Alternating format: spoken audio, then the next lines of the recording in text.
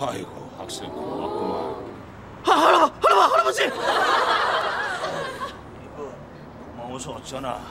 뭔가 보답을 해야 할 것 같은데 할아버, 할아버지! 이 휠체어 학생이 가져가게. 도움이 될 게야.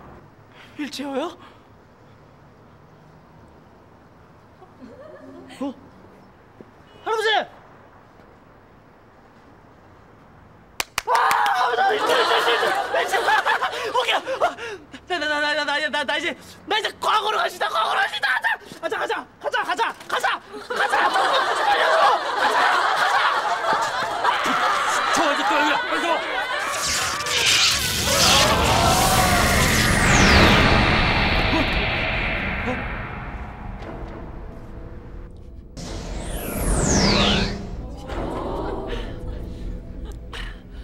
오긴 온것 같은데 아, 이게 이게 1998년이 아니면 어떡하지?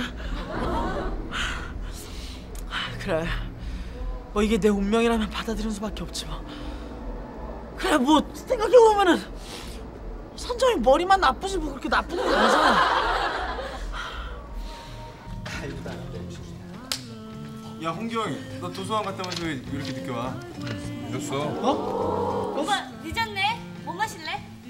오빠? 야 오빠 너 오빠라고 불렀어 방금 나한테 여우라고 안 부른 거지 얘들아 그렇지? 우와! 야 그래? 제니야 지금 몇 년도냐?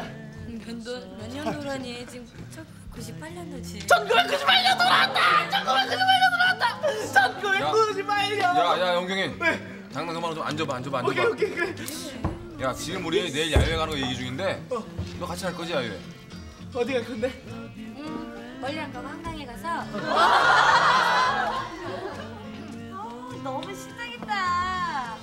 아 근데 다 쌍쌍이 타는데 난 누구랑 타? 아, 그래 나 경일이 오빠랑 타면 되겠다. 너랑 나랑 꽃을 산다고? 안돼 안돼 안돼 안돼 안돼 안돼 안돼 아, 아, 아.